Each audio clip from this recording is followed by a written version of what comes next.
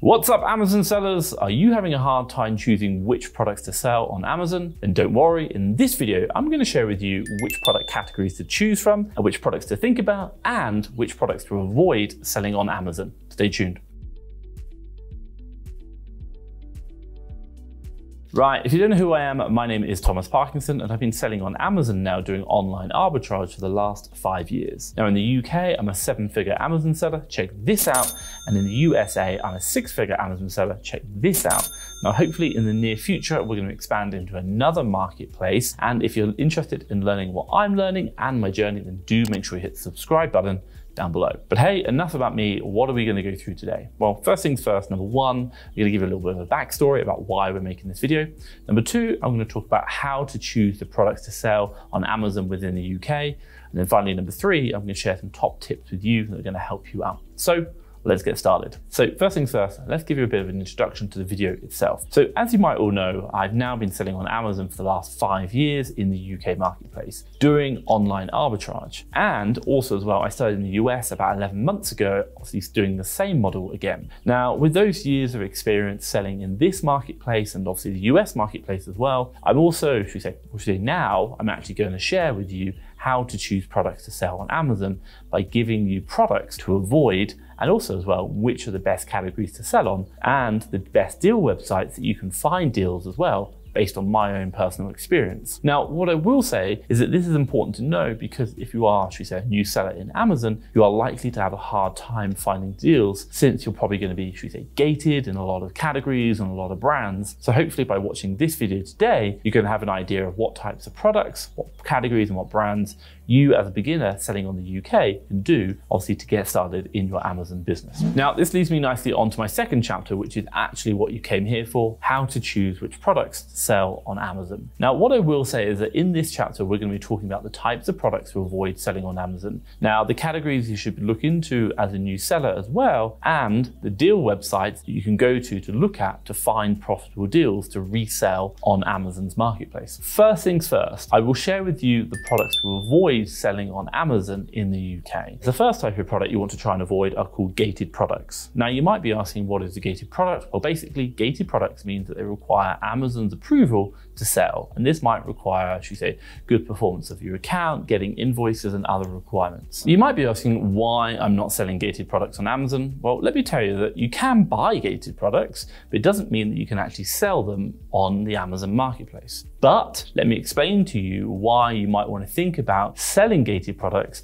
And specifically, what do I mean? Well, getting ungated so that you can now start selling those products you were previously gated in. Now, the reason why I say this is because you are going to have less competition. So if you have less competition, you're going to probably have a higher chance of winning the buy box. And that is where 90% of all the sales come from. And obviously, you're going to make more sales and obviously more profits. That is what we want. Now, what I advise for you to do is to get yourself ungated whenever you can. And to do this, you can use tools like SAS, FBA Multitool, or Buybot Pro, which have a feature which, should we say, help you get ungated automatically or just make it simpler. Or you can go through the process of working with a manufacturer, distributor, or wholesaler to get a legitimate invoice by purchasing 10 items of those products or that product. Once you've got that invoice, you can then get yourself ungated. Now, if you want to know how to get yourself ungated using a product, or should say using an invoice actually, then what I'll do is I'll drop a video above called top tips on how to get ungated on Amazon check that out. I think that'll help you.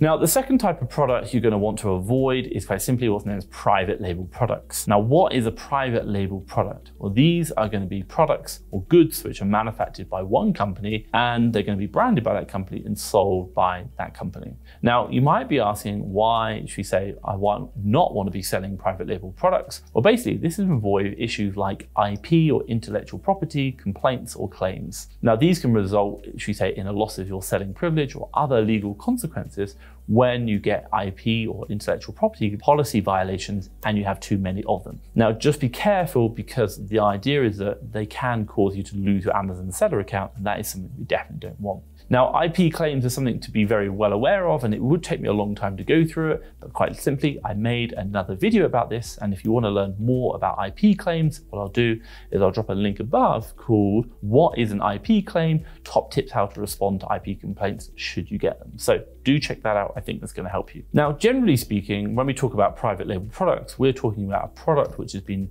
created by, uh, should say, another seller and reselling on Amazon. And generally, there's only ever going to be one seller on the listing that is the owner of the product. Now, technically, private label products are any product that is a brand, should we say, and you can sell branded products, like Nike, for example, that is technically a private label product, but obviously you've got to make sure you're getting the right products and buying them from authorized distributors or, should we say, from the manufacturer themselves, in case there are questions around the authenticity of the product that you are buying. Now, the one thing which I'll say for you to help reduce down the likelihood of you getting, should we say, the intellectual property complaints, just have a look at the number of new sellers on a listing. And if you are seeing, you say over time, it's always been pretty much one, maybe two sellers. There's never been anyone else on that listing. I'd probably stay well clear of that product because it's possibly a private label product, which they don't want other sellers selling that product. Now, the third type of products I want you to think about now is hazmat products. Now, hazmat products or hazardous products are basically any product that contains hazardous material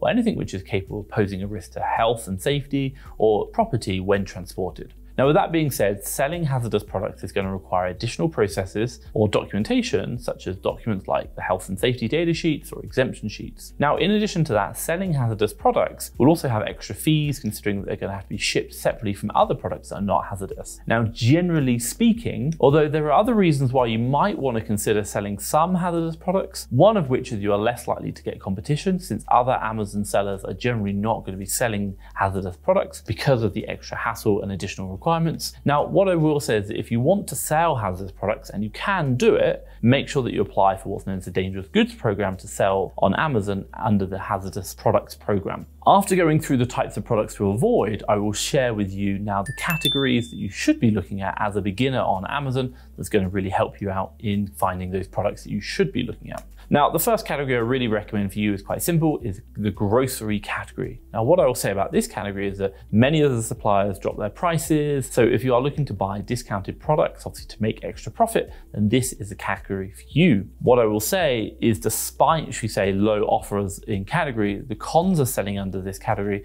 is that it is a perishable item meaning to say that it's prone to, should damage or even going out of date. For example, chocolates, they can easily melt or, should say, the chips can break away on the chocolates if they're very decorative. So bear in mind that these items need extra care and obviously attention to detail. Not only that, but since these items are perishable, they have, should say, expiration dates. Now, with that being the case, do double check the expiration dates for the supplier because what you might be doing is buying stock that won't have enough number of days or shelf life left on it before you ship it to Amazon. And obviously what's going to happen, they're going to reject it or they will actually get to the customer and the customer won't be happy and that will lead to complaints.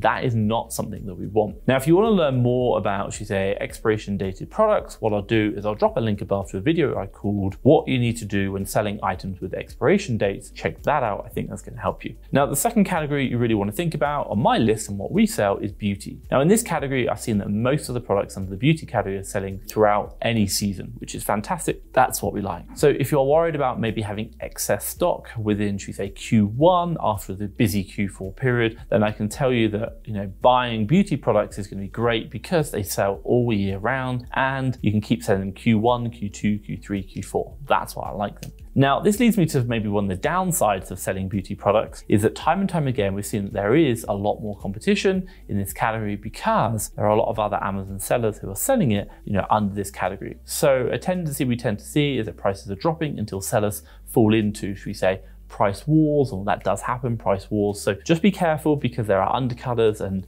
this is whereby one seller reduces their price, the other one undercuts that one, and then undercuts and undercuts. So we have seen that quite heavily in the beauty category. Now, if you want to learn more and should say some top tips about when you're in a price war, which is something you will see on the Amazon game, then what I'll do is I'll drop a video above that I created called top tips on how to manage, should say your price in a price war. Check that out. I think you're going to love it. Now, the third category I'm going to talk about on my list is pet supplies. Now, what I will say about this category is that most retailers do allow bulk orders. So you can buy a lot of it. So you've got a lot of cash. This is a great category to get involved. So if you're worried about maybe your order's getting cancelled or something you're seeing, or maybe they're limiting the number of orders you can do, which is something you do see in beauty, then we say pet supplies is going to be one of the categories you should be sourcing from and it's going to help you out. Now, aside from being able to purchase in bulk, which is something we really like, the one disadvantage you've got to just be aware of is that there are a lot of private label products in the category. Remember, that's something we talked about earlier. Now, you might be asking yourself, why is this an issue?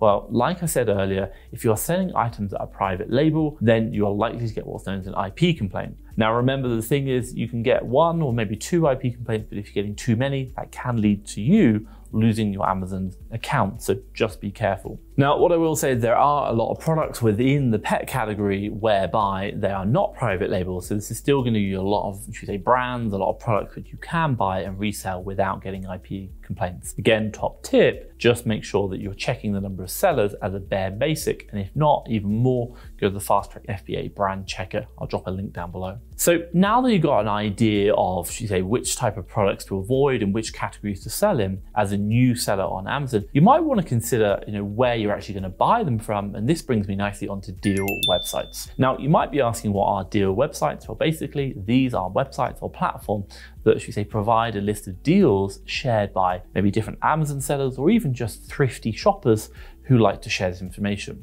Now, let me share with you some of the profitable deal websites that I've used in the past, which are going to help you spot maybe opportunities to buy low and resell high for a profit on Amazon. First things first, number one, and I really like it, and it's a great place that you should be checking regularly, Hot UK Deals. Now, what I like about Hot UK Deals is that you can access it for free, you can get new deals every day, and with that being said, it creates a great opportunity to find deals easily, and obviously you can find deals that other thrifty shoppers are finding, sharing, and also you can get a great buy low, resell high on Amazon. Now, there is a con when using Hot UK Deals is that by the nature of obviously we're talking about it now, a lot of other sellers do use this to find deals. And what does that mean? Well, you're probably going to find a lot more competition in the coming weeks after purchasing those products. So just be aware that the net result of that is that prices might be declined and that you should probably look at products with a healthy margin in it or high sales volume that's going to help you out. Now, my top tip for you when using Hot UK deals is always to check the supplier. Why? Well, the last thing you want to do is find a great deal, but only find out the supply is from Amazon or Amazon themselves, which is very common. Now, as an arbitrage seller, you're probably looking to buy from other suppliers to resell on Amazon. So obviously buying from Amazon themselves, technically can do, but you probably want to avoid because you're probably going to get into the, should you say, private label category, which is something you want to avoid. So always check the supplier before kind of doing your whole deal analysis to avoid wasting time obviously analyzing deal, which you're probably not going to buy. Now, the second deal website that I like is called Latest Deals. Now, just like Hot UK Deals, this is a deal aggregation website whereby they find deals, you know, people are submitting them, and obviously you can review those deals and obviously do your analysis. Now, I like it because it's easy to navigate and it gives you clear information about, you say, the products that you're obviously they found cheap. Obviously, it helps you do your analysis as well. Now, if you want to know from me, we generally tend to find more deals posted on latest deals and hot UK deals as well, or should I than hot UK deals. But that being said, one of the cons of latest deals is following on about deals posted. Unfortunately, you see there are, should we say, a lot of repetition on this website. We're seeing a lot of deals just constantly being repeated, which is a bit of a pain because it means you're reanalyzing a lot of deals that you've already done before. Although despite this con, it's still a very good website and it does have a lot of deals. So just be mindful of that. Now, my top tip for you when using latest deals is to join actually their Facebook group community where people are also sharing the deals in the community and not just on the website. That is super, super helpful. Okay, so right now I'm talking about finding deals, getting started as a new seller on Amazon. And the one thing which I will say is if you are thinking about or are actually getting started on Amazon right now, and obviously, she say finding deals is a challenge, and this is very normal, by the way. It's probably one of the hardest parts of this arbitrage game, then what I'd say is look no further than Fast Track FBA Leads. This is a service I created whereby we have teams sourcing in the UK and in the USA. Quite simply, all my teams, they're finding the deals from all the websites, all these websites, they're putting them onto our platform.